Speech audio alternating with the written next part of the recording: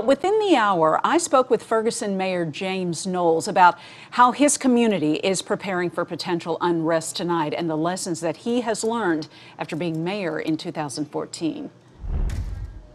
One of the things that we've learned and one of the things we've tried to do immediately uh, after the protests started on Saturday here in our community was to engage uh, people who want to exercise the First Amendment right, people that want to be heard, uh, obviously to listen to them, uh, to engage them.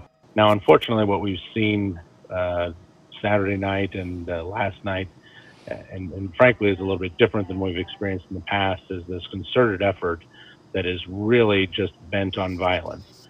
Uh, and these individuals who have come out to uh, perpetrate that, they are not, this is not a sporadic outpouring of frustration from a group. This is a planned, concerted effort to try to uh, destroy the Ferguson Police Department or do other damage within our community. And when you're talking about this planned, concerted effort, we are hearing that this is from people who are not from our area. Absolutely. Uh, in fact, you know, we've been able to identify a few people. Uh, we've had a, an effort of, of, residents and others who have uh, worked uh, through social media and other other uh, venues to identify through the massive number of, of videos and photos that are out there of people who are part of this. There's some very good, clear photos. And uh, we've been able to identify a number of people. They don't even realize that they've been identified yet, but they'll find out soon enough. Um, and, and, you know, they're not from here.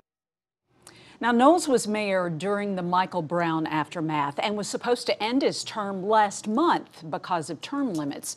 But the municipal election was postponed due to COVID 19. So now he will end his term in June, much like it started.